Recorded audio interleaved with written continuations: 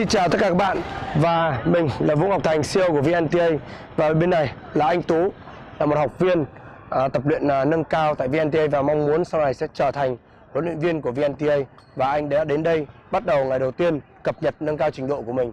Và bây giờ thầy Thành cũng rất là may mắn được anh Tú trải nghiệm với một cái kỹ thuật là vô lê. Anh đã nghiên cứu qua kênh của VNTA một phần nào đó và hôm nay chúng ta sẽ kiểm tra cái năng lực của anh đánh cái kỹ thuật vô lê bên trái bằng hình thức bắt chéo sân vào dọc dây, thì qua đó thầy Thành sẽ sử dụng công nghệ phân tích. Từ đó thì chúng ta sẽ rút ra những kinh nghiệm lỗi sai đâu, và thầy Thành sẽ cho cái đúng để cho mọi người tập luyện. Và cảm ơn các bạn. Bây giờ chúng ta sẽ bắt đầu đi vào thực hiện cái quá trình vừa test, vừa chỉnh sửa và trực chiến cái kỹ thuật vô lên nâng cao này.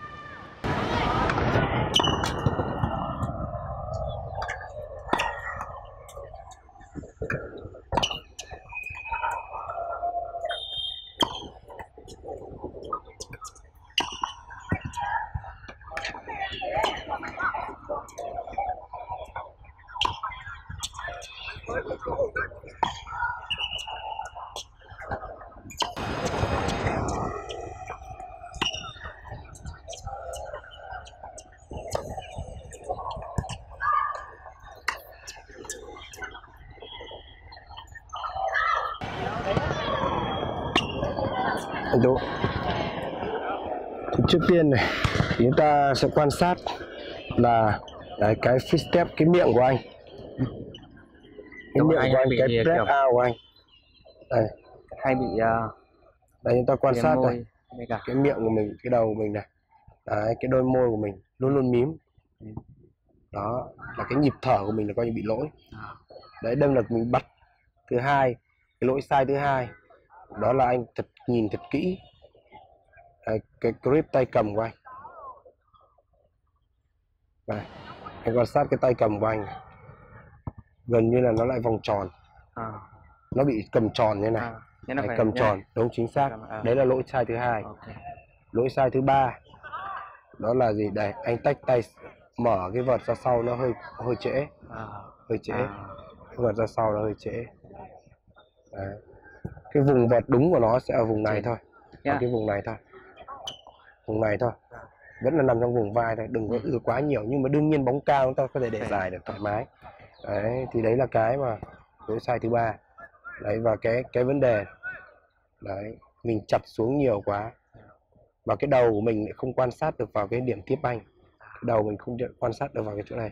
Mà cái mắt của mình ấy lại gì? Nhìn ra xa đây. À, vậy cái đúng của nó là gì? Cái đúng là cái đầu mình phải quan sát vào vùng này. À, Thì cái mắt của mình cũng nhìn vào vùng này luôn. À. đấy là cái đúng nhất. Đấy nên là đấy là hai ba cái lỗi sai. Còn cái việc mà mình vào muộn hay không ấy, thì nó phụ thuộc vào cái điểm contact point đây nhìn rồi mình quan sát. Đấy con này. Anh thấy không? Đây còn lỗi banh này khi đưa vào. Chật. Tức là nó bị ngửa mặt vật nhanh À. quá. Tức mình bị lật mặt vật nhanh quá. Rất nhiều người vào quả bóng xong một cái lật luôn. Lật luôn. lật luôn mặt vật thì dẫn đến nó bị ụp nó bị sẹt thì đấy là cái nguyên nhân mà rất nhiều người sai. Anh nhìn thấy không?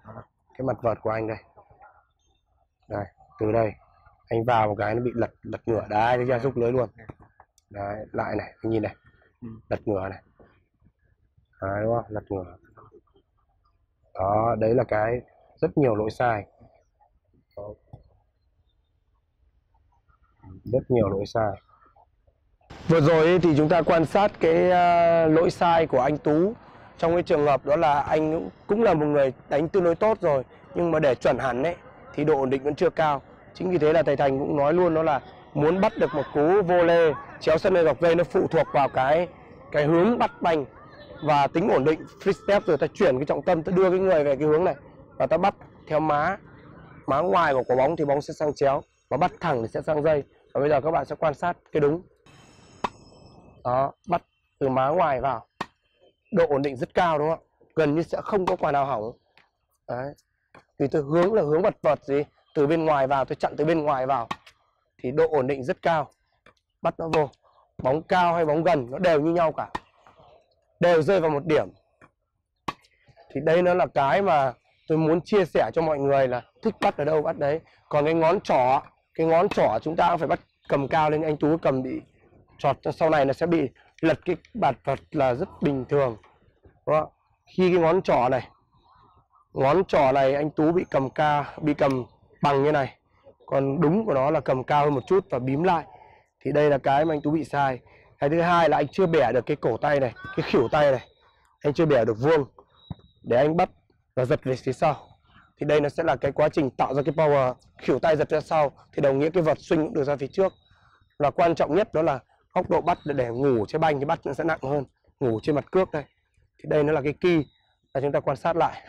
Đây nhìn tay của tôi. Đó. Và free step đây.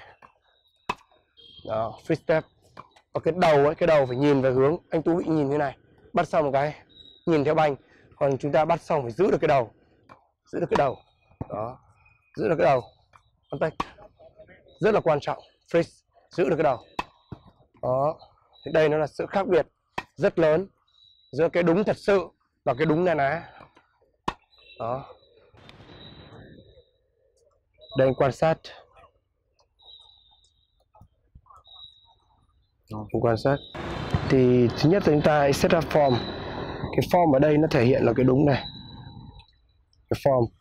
Và cái form. Đấy nó là form vuông. Và cái kiểu tay phía sau, nó cũng phải vuông. Vuông. Cũng phải vuông. Hai cái này vuông. Trọng tâm gối. Trùng. Chuyển trọng tâm từ chân này sang chân này. Đây là những cái điều kiện cần nhất và mắt của chúng ta sẽ quan sát banh. Đó, đây là cái vấn đề quan trọng nhất. Sau khi chúng ta ok rồi, thì chúng ta hãy tiến đến cái việc là bắt từ bên ngoài bắt vào. Bắt từ ngoài bắt vào. Lúc này là chúng ta cơ thể ta vẫn giữ được. Vẫn phải giữ được cái đầu ở cái vùng này. Và bắt từ bên ngoài bắt vào. Thì đó mới là ok về tai form. Sau đó ok xong rồi ấy, thì chúng ta sẽ quan sát. Đây nhìn đi. Đấy. Hướng này. Bắt từ ngoài bắt vào. Và cái bàn tay phía sau rất căng. Đây rất căng. Mặt vật chúng ta gần như giữ cố định. Trên đường thẳng. Đầu vẫn giữ ở cái vùng này. Phân tích những cái này. Đó. Tiếp theo khi mình bắt xong rồi. Chúng ta giữ gần như nó pực cái vợt một cái cái vợt nó vào mặt vợt nó sẽ phực. Thấy không? Nó gần như là giữ vùng này giữ phực một cái cho nó đi. Anh nhìn. Đó. Đấy là bài toán mà nhiều người vào một cái là sổ luôn. Sổ sẹc và phát từ đây xuống luôn. Chứ nó không có một cái sự chịu ở đây. Đấy, nó phải chịu một chút sau đó mới đi. Thì đấy là cái mà đấy anh thấy chưa? Ừ. đây là ok. Và đồng nghĩa với lại bắt vô lê chéo sân thì chúng ta cũng có một cái khái niệm để bắt vô lê dọc dây nó có sự khác biệt đó là điểm tiếp xúc banh. Và góc độ mà quả bóng nó tới nó sẽ phụ thuộc vào góc độ của mặt vợt. Và làm thế nào để cho chúng ta ấy, là nếu mà góc độ mặt vợt kém thì chúng ta có thể sử dụng thân người chúng ta lái. Để làm sao thân người chúng ta song song và mặt vợt chúng ta sẽ song song với lưới thì đồng nghĩa cái quả bóng nó bay vào nó sẽ đi song song với lại vuông góc mấy lưới và đồng nghĩa là sẽ ra dọc dây. Và tôi cũng sẽ phân tích và thị phạm luôn cho các bạn để các bạn hiểu để bắt được dọc dây như sau. Đây chúng ta sẽ cố gắng chúng ta tì dài ra. Đây tì dài ra. Đó và bắt được cũng tương tự. Đấy, trái banh dọc dây. Thì chúng ta cố gắng làm sao ấy cũng phải hướng được bật vợt vào. Đó. Nổ banh đúng không ạ? Đấy là cái kỳ cực kỳ quan trọng. Bạn thấy cái khỉu tay của tôi lúc nào cũng căng ra sau. Vuông. Và bắt gần như sẽ không hỏng. Còn bóng nó ra quá xa đây thì chúng ta sẽ gì? Sẽ sử dụng cái chân chân trái chặn lại. Thì lúc này chúng ta sẽ không bao giờ bị lỗi.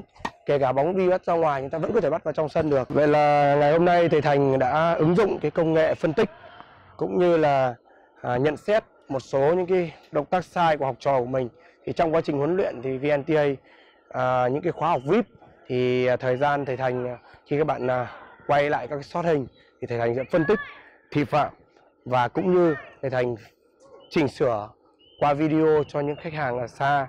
Thì sau này có chương trình như vậy thì sẽ căn cứ vào những lỗi sai đó thì thành có những video mà sẽ phù hợp với sửa được những lỗi sai đó. Có gần 1.000 lỗi sai và gần 1.000 video thì thầy sẽ xây dựng cái, cái bộ chương trình đấy và sẽ à, bán với một cái giá rất là mềm mại cho à, các khách hàng ở tỉnh xa cũng như là những người chơi tennis ở Việt Nam và cộng đồng trên thế giới. Thì đây nó là một sự tự tin của VNTA để vươn tầm. Chính vì thế là cũng rất là mong muốn cộng đồng chúng ta ủng hộ cái thương hiệu VNTA và cũng một lần nữa cảm ơn các bạn đã theo dõi kênh hãy subscribe đăng ký kênh cũng như là ấn vào nút chuông thông báo ở phía dưới. Đồng thời hãy liên hệ nick Facebook cá nhân của thầy Vũ Ngọc Thành để chúng ta theo dõi những cái hành động à, mà thầy Thành đang à, hàng ngày chia sẻ cũng như là các khóa học liên tục được diễn ra từ Nam vô Bắc. Đấy, thì một lần nữa, xin chào và hẹn gặp lại ở những video tiếp theo.